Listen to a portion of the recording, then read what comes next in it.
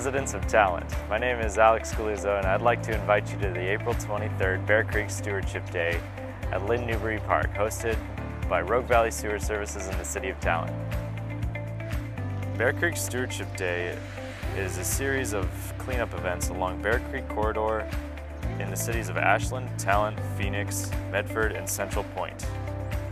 The Bear Creek watershed is the most urbanized area in southern Oregon. It is also the most water quality limited streams in Oregon. Urban runoff from summer stream flows and high summer water temperatures contribute to poor water quality. We invite you to Lynn Newbry Park to help in weed removal and trash collection and general maintenance of the park facility. To register, go to bearcreekstewards.org and select the option Lynn Newbry Park.